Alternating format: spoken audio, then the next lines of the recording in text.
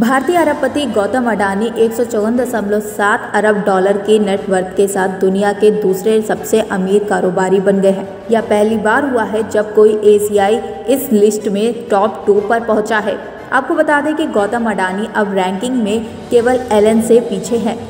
वहीं टेस्ला के founder Elon Musk इक्कीस लाख करोड़ की नेटवर्थ के साथ लिस्ट में पहले नंबर पर हैं। वहीं अडानी के अलावा रिलायंस के chairman Mukesh Ambani top ten की लिस्ट में शामिल होने वाले दूसरे भारतीय हैं। सात दशमलव पैंतीस लाख करोड़ की नेटवर्थ के साथ मुकेश अंबानी दुनिया के आठवें सबसे अमीर व्यक्ति हैं। ब्यूरो रिपोर्ट, आई